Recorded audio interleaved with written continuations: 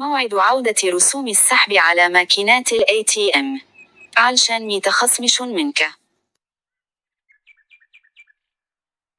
منذ انتشار فيروس كورونا اتخذت البنوك قرارا بوقف فرض أو خصم رسوم للسحب على ماكينات ال ATM وذلك للتيسير على الناس وإتاحة السحب من أي بنك حتى لو لم يكن تابعا له دون خصم رسوم وذلك ضمن مبادرة البنك المركزي.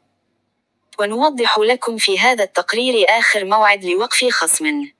رسوم السحب. من البنوك وعودة فرض أموال على السحب من بنك آخر غير تابع له الشخص.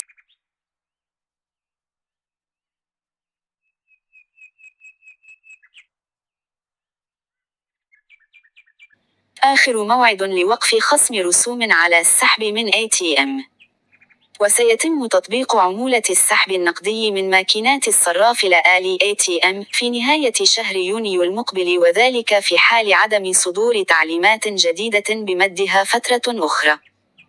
واستجابة لمبادرة البنك المركزي واصلت البنوك على مدار أكثر من عامين إيقاف تحصيل عمولة السحب النقدي من ماكينات ال ATM على عملاء بنوك آخرين غير تابعين لها.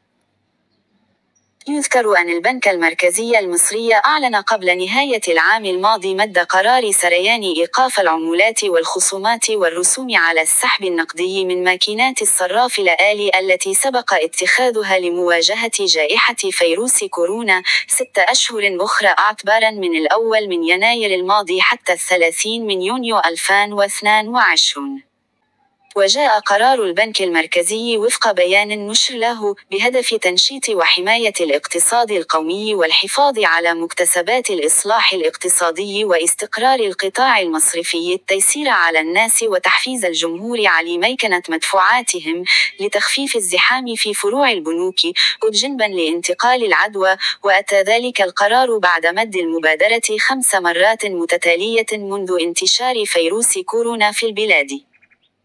إعفاء المواطنين من رسوم خدمات التحصيل الإلكتروني. وجاءت قرارات الإعفاء من الرسوم والعديد من المعاملات والإصدارات المختلفة للبطاقات في صالح التجار والمواطنين أيضا، إذ تم إعفاؤهم من رسوم خدمات التحصيل الإلكتروني عبر شبكات الإنترنت، بغرض تخفيف الأعباء المالية عن الشركات بإعفائها من المصاريف التي كانت مطلوبة منها لتفعيل خدمة التحصيل الإلكتروني.